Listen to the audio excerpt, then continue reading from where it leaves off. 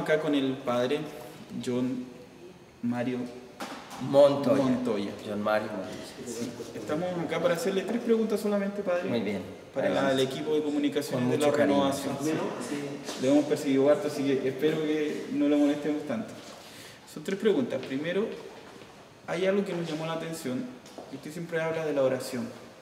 Sobre todo, escribió un libro la oración. Sí. Entonces la pregunta es, ¿qué tan importante cree usted que es la oración para los jóvenes y para los adultos en esta renovación que trata de cambiar el mundo de alguna forma? Mira, te voy a responder con una frase de San Juan Eudes, el fundador de la Congregación de Jesús y María Padres Eudistas, a la que yo pertenezco. Y San Juan Eudes decía, la oración es al cristiano lo que la respiración al ser humano. La oración es al cristiano lo que la respiración es al ser humano.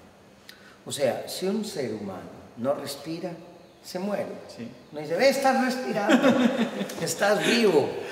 Y cuando dice, "Mm, es que no respira, significa que se murió. Sí. Cuando un cristiano no ora, está muerto. No hay vida cristiana en él. De tal manera que si tú quieres que haya vida cristiana en ti, tiene que haber oración, porque tú eres casado. ¿Ya? ¿Ya estás casado? Sí. Bueno, y si tú estás casado y nunca hablas con tu esposa, no la conoces, ¿cierto? Inclusive hay relaciones que se destruyen y se dañan porque dicen, es que después de tanto tiempo me he dado cuenta que no te conozco. Y eso, ¿cómo se arregla con el diálogo? Y si eso te pasa a ti, que convives con una mujer, que te levantas y la ves toda despeinada y, y- y sin maquillaje en la mañana y te asustas y dices, ay, con esta fue que yo me casé. ¿Es esto lo que está No, no. Esto fue lo que Dios me dio. Entonces, eh, resulta que si tú, eh, si eso te pasa con una persona que la ves todo el día, puede haber etapas donde uno dice, estoy desconociendo a Dios. ¿Y eso qué es? Que no hablas con Él. Cuando tú hablas con Dios, Dios te da a conocer los secretos de su corazón. Y eso es la importancia y la riqueza de la oración. Gracias, Padre. La siguiente pregunta va otro tema que usted tocó, es la renovación carismática. Bueno, estamos en un retiro de la renovación carismática, pero ¿qué futuro o cómo debemos enfrentar como renovación el futuro? Sobre todo lo que es acá en Chile, con que, donde hemos, hemos visto que las comunidades se han ido achicando, donde hemos visto que no hay tanta participación de jóvenes como era mucho tiempo atrás. ¿Qué futuro o cómo nosotros enfrentamos el futuro como renovación? ¿Qué tenemos que mejorar? Bueno, yo pienso que donde hay miel, llegan las abejas. ¿Por qué llegaba antes tanta gente a la renovación? ¿Qué miel había ahí? Yo creo que había ciertas cosas que hemos perdido. Había una alegría, había un amor, había un gozo, había... Donde hay miel, llegan las abejas. Y tal vez yo creo que estamos pasando una purificación en la renovación carismática porque nos hemos dado cuenta que muchas cosas no son como nosotros queremos. Y nos hemos, como unos niños con una golosina engolosinada. Y hemos dado más importancia a los carismas de Dios que al Dios de los carismas. Y yo creo que la renovación tiene futuro, pero tenemos que tener sacerdotes que amen la renovación y sirvan a la renovación, no que se sirvan de la renovación. Servidores y líderes que amen la, renovación y le sirvan a la renovación, no que se sirvan de la renovación. Porque lo que yo he visto es que muchos sacerdotes, servidores, se sirven de la renovación. Y yo creo que la renovación carismática tendrá futuro donde hay moción del Espíritu, donde hay movimiento del Espíritu, porque no es otra cosa.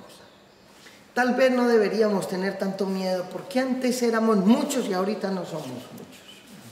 Yo no creo que la renovación carismática se haya hecho para que seamos muchos. sino que para los que estemos, estemos convencidos. Te habla entonces de mejorar no cantidad, sino calidad. Seguro que sí. Y la última, me gustaría que le diera un mensaje, pero no solamente a la renovación, específicamente a los jóvenes de la renovación, que siempre son como más postergados, que siempre están buscando un lugar dentro de la renovación y que muchas veces no encuentran. Bueno, yo lo que quisiera decirle a los jóvenes es, eh, siempre hemos dicho que los jóvenes son el futuro de la iglesia. Y yo recuerdo que una vez un joven en Medellín, Colombia, se puso de pie y dijo, estamos cansados de que nos digan que somos el futuro. Pero el futuro, ¿cuándo es? ¿Cuándo es el futuro? Nosotros no somos el futuro, nosotros somos el presente. Yo creo que a los líderes de la renovación, en primer lugar, les tendría que decir que por favor no tengan miedo en darles a los jóvenes responsabilidades. Porque a veces no les damos responsabilidad a los jóvenes y entonces no los, eh, no los hacemos crecer. Yo creo que hay que darles responsabilidades. Pero a los jóvenes yo les diría eh, aquello que decía Timoteo. Timoteo fue un, joven y Pablo le escribió a Timoteo. Y de las cosas bonitas que le decía Pablo a Timoteo es, cuida lo que has recibido, cuida lo que has recibido.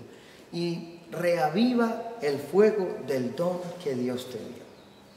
Entonces cuando nosotros reavivamos ese fuego, cuando a los jóvenes les decimos, cuida lo que Dios te ha dado, pero cuídalo como un tesoro, con celo, como un animal cuida a su cría, cuida lo que Dios te ha dado. Y Dios te ha dado una fe inquebrantable y una fe que no se acaba con nada.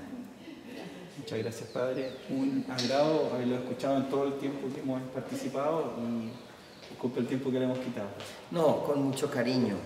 Mira, siempre para mí es una alegría eh, poder animar un poquitico la renovación, pero sobre todo que cuando uno va a servir, uno cree que uno va a servir y resulta que uno va a ser servido. Resulta que uno cree que va a enseñar y va a aprender. Y siempre que uno va a predicar un retiro, uno se renueva, uno aprende de la gente. Y eso es lo bonito de la palabra de Dios y de esta bendita renovación carismática. Muchas gracias. Ok. Que Dios lo bendiga. Amén. Gracias. Bendiciones.